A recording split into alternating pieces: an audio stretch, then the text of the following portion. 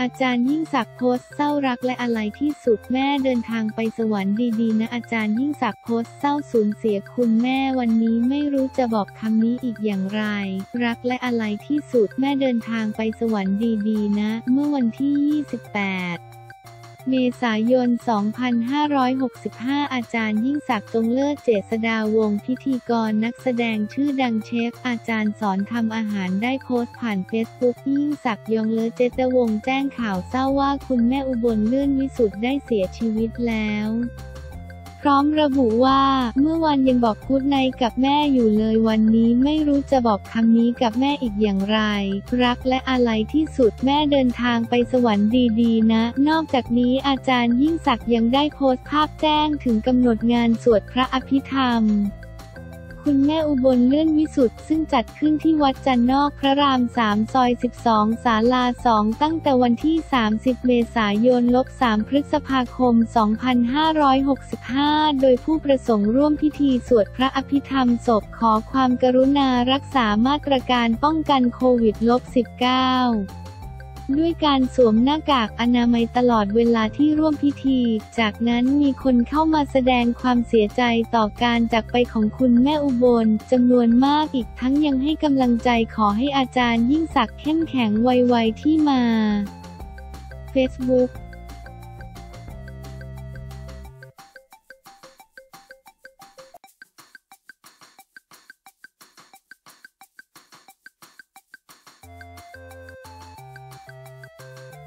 สาวจีนถูกเก็บมาเลี้ยงเติบโตจนได้ดีขายบริษัททิ้งพาพ่อเที่ยวเพื่อตอบแทนสาวจีนตัดสินใจขายบริษัททิ้งนำเงินไปซื้อรถบ้านขับพาพ่อบุญธรรมเที่ยว ตอบแทนที่เก็บเธอมาเลี้ยงอดทนทำงานเก็บขยะ เลี้ยงดูเธอมาอย่างลำบากเรื่องราวดังกล่าวเป็นของจังซวงฉีพ่อชราวัย 75 ปี และจางไปเกอ ลูกสาววัย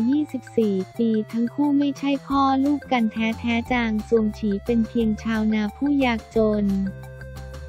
แต่เขาก็รับเลี้ยงจังไปเกอโดยไม่มีข้อแม้ จนวันนี้ลูกสาวได้ประสบความสำเร็จ เธอจึงตอบแทนคุณของพ่อผู้นี้เป็นอย่างดี ย้อนกลับไปเมื่อเดือนมีนาคมปี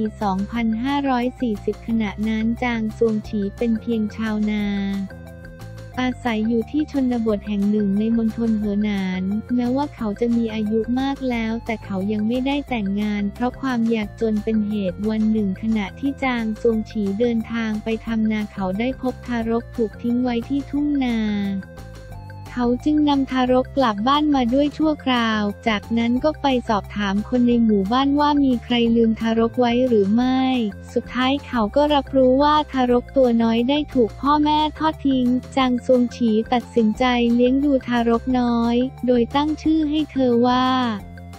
จางไปเกอและเพื่อที่ให้ลูกสาวมีชีวิตที่ดี เขาไม่เพียงแต่ทำงานในทุ่งนาทุกวัน แต่เขายังใช้เวลาที่เหลือเก็บขยะตามหมู่บ้านและเมืองใกล้เคียงไปขายอีกด้วย เมื่อจางไปเกอเติบโตขึ้น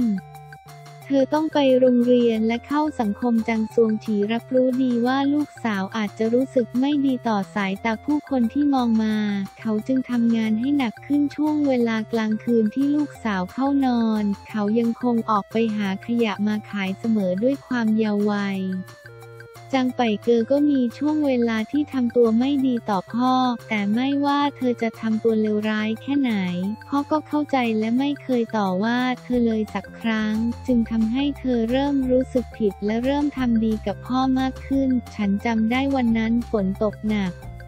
พ่อไปรับฉันที่โรงเรียน เพราะพ่อตัวเตี้ยฉันเห็นพ่อเขย่งเท้ามองหาฉันท่ามกลางผู้ปกครองคนอื่นๆ ตอนนั้นฉันจงใจหลบเลี่ยงพ่อแต่เมื่อพ่อเห็นฉันพ่อก็ยื่นร่มให้โดยไม่พูดอะไร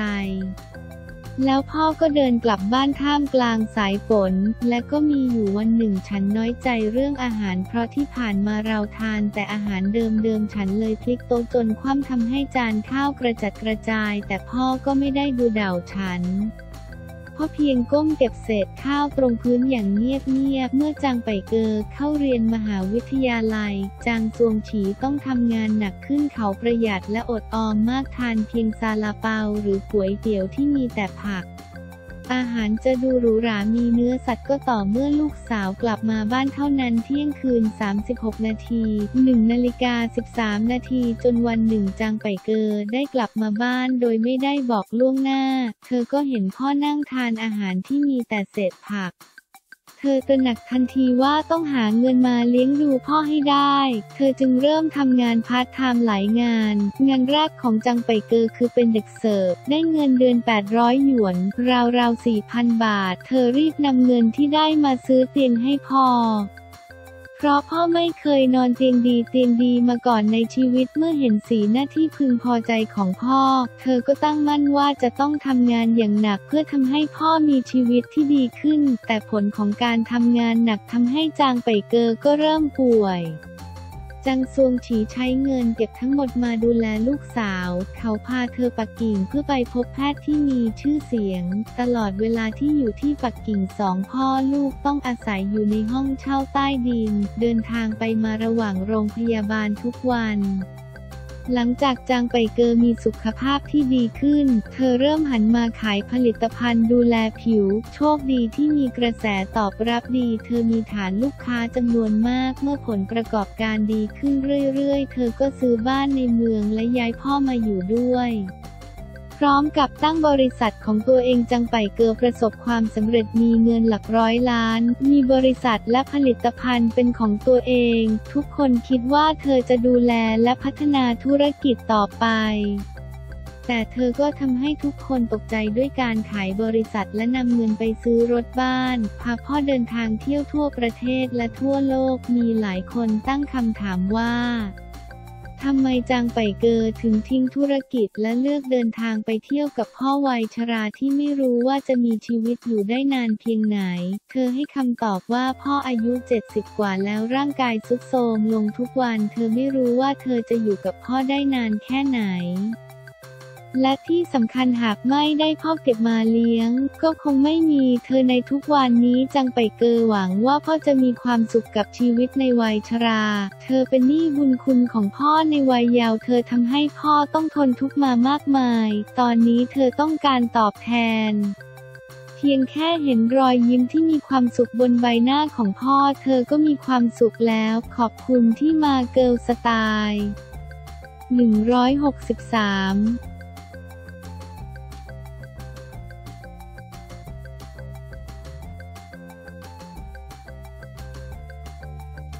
เจอจะไปตบเมย่าเปิดใจเสียงสั่นไม่โอเคน้ำเพชรถ้าเปลี่ยนบุพการีจะโอเคไหม ถ้าเจอจะไปตบเมย่าเพื่อนของแตงโมเปิดใจเสียงสั่นลั่นไม่โอเคน้ำเพชรมันเป็นเหมือนการเหยียบย่ำหัวใจเราถามกลับถ้าเปลี่ยนบุพการีของคุณ จะโอเคใช่ไหมจากกรณีที่มีเสียงวิจารณ์สนั่น เมื่อน้ำเพชรตียาผ้า โพสต์คลิปลงไอจีสตอรี่ขณะกำลังล่องเรือสปีดโบ๊ทกลางแม่น้ำเจ้าพระยา โดยเธอได้แต่งชุดเดียวกับแบบแตงโมภัทรธิดา นิดา แถมยังใส่มีผ้าคลุมสีขาวลักษณะเดียวกันกับชุดในวันที่แตงโมเสียชีวิต พร้อมทั้งโพสต์ท่าถ่ายภาพสุดเซ็กซี่ ท่ามกลางบรรดาโลกโซเชียลเข้ามาวิพากษ์วิจารณ์ถึงความไม่เหมาะสม ล่าสุดเมย่ารวิสราหนึ่งในเพื่อนของแตงโมกลุ่มเดียวกับแอนนาออกมาให้สัมภาษณ์ถึงน้ำเพชร ผ่านอมรินทีวีว่าส่วนตัวสนิทกับแอนนาเพื่อนสนิทของแตงโมแล้วตนเองเห็นว่าแอนนาเสียใจมากกับเหตุการณ์นี้ พอเห็นว่ามีคนใส่ชุดคล้ายออกมาและไม่รู้ว่าเจตนาทำเพื่ออะไรแต่มันกรีดหัวใจอย่างเราและคนที่สนิท โดยส่วนตัวอยากคุยกับน้ำเพชรในฐานะเป็นผู้ใหญ่กว่าอยากจะสอนน้อง ถ้าอยากจะถ่ายรูปแบบนี้ต้องรู้จักการให้เกียรติด้วย ซึ่งวันนี้จะไม่เป็นเรื่องเลย ถ้ารู้จักการให้เกียรติ พร้อมขอบคุณที่รักและให้คนคิดถึงแตงโม แต่วิธีการนำเสนอมันผิดที่ผิดเวลา ผิดกาลเทศะ ซึ่งส่วนตัวคงไม่ทะเลาะด้วยถ้าเจอก็คงตบไหล พร้อมบอกด้วยว่า อย่าทำแบบนี้ไม่สงสารพวกพี่บ้างเหรอมันกรีดหัวใจพี่นะทำแบบนี้มันไม่ถูกถ้าเขาให้เหตุผลเราก็จะฟังพอเราเห็นน้ำเพชรที่มาแต่งชุดแบบนี้โดยเฉพาะอย่างยิ่งการแต่งชุดแบบนี้แล้วยกมือขึ้นเหมือนมีความสุขมากๆ มันเป็นเหมือนการเหยียบย่ำหัวใจเรา มันเป็นจังหวะและเวลาในวันที่มันจะปิดสำนวนคดี แล้วแอคชั่นที่ทำผิดมันนิดไปหน่อย ซึ่งภาพที่อยู่ในหัวตนเองมันเป็นภาพที่เราจินตนาการว่า ที่แตงโมจะทุกข์ขนาดไหนกับการที่ต้องอยู่ตรงนั้นและตกลงไป แต่คุณมาชูมือยิ้มและหัวเราะคุณเหยียบความทุกข์ของพี่เราเพื่อขึ้นไป ถ้าวันนี้น้ำเพชรได้ดูอยู่อยากจะพูดสั้นๆกับน้ำเพชรคือ ทุกการกระทำมันราคาที่ต้องจ่ายถ้าตอบตรงๆเราก็คงบอกว่าเราไม่โอเค แต่เราอยากให้คิดแบบนี้ขอยืมคำพี่เบิร์ดมาใช้ถ้าเปลี่ยนว่าคนที่คุณกำลังล้อเลียนเป็นบุพการีหรือแม่ของคุณ จะโอเคใช่ไหมขอบคุณข้อมูลจากอมรินทีวี